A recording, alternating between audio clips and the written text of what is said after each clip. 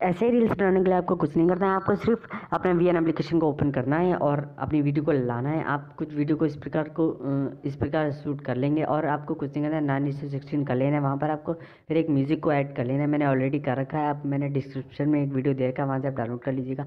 और फिर उसके बाद आपको बीट म्यूज़िक बीट लगाना है, आपको चार मिनट नाइन्टी सेवन सेकेंड पर लगाना है। फिर लगाने के बाद आपको अपनी वीडियो को अपनी वॉइस के अकॉर्डिंग एडजस्ट कर लेना है। मतलब अपने साउंड के अकॉर्डिंग कर लीजिएगा और फिर उसके बाद आपका वीडियो एडजस्ट होने के बाद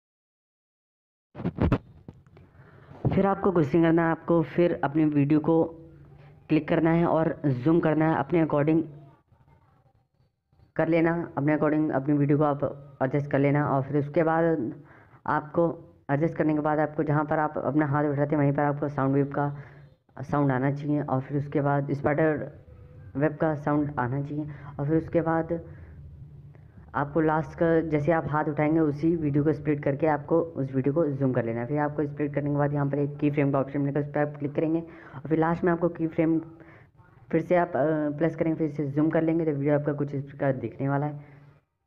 हाँ तो फिर उसके बाद, दिखने के बाद आपको मैंने डिस्क्रिप्शन में एक वीडियो दे रखी है, वहाँ से आप डाउनलोड कर सकते हैं। अगर आपको डिस्क्रिप्शन में नहीं दे रखी तो आप यूट्यूब पर सर्च करेंगे black screen spider web black screen तो वहाँ पर आपको ऑप्शन मिल जाएगा। वहाँ से आप डाउनलोड कर सकते हैं। फिर डाउनलोड करने के बाद आपको इस वीडियो को, आपको ब्लेंडिंग कर लेना है। ब्लेंडिंग करने के बाद अपने अकॉर्डिंग वीडियो को एडजस्ट कर लेना है।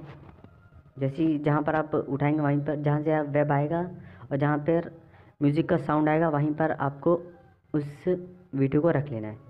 जैसे इस प्रकार, और फिर इस पर आप क्लिक करेंगे, फिर की फ्रेम एडजस्ट कर लेंगे।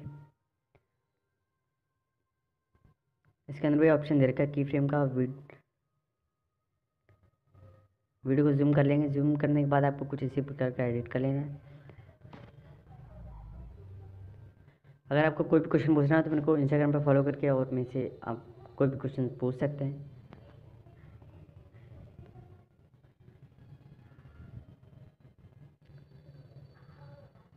हमको कुछ इसी प्रकार को एडिट कर लेना है। मैं ऐसे रील्स लाता रहूँगा तो फिर वीडियो को प्लीज़ लाइक ज़रूर कर लीजिएगा और चैनल को सब्सक्राइब ज़रूर कर लीजिएगा क्योंकि आपकी सपोर्ट की वजह से ही हमारा भला होगा और हमारे भला होगा तो आपका भला होगा।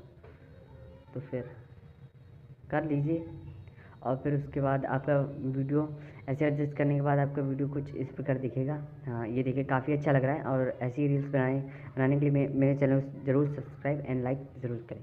Thank you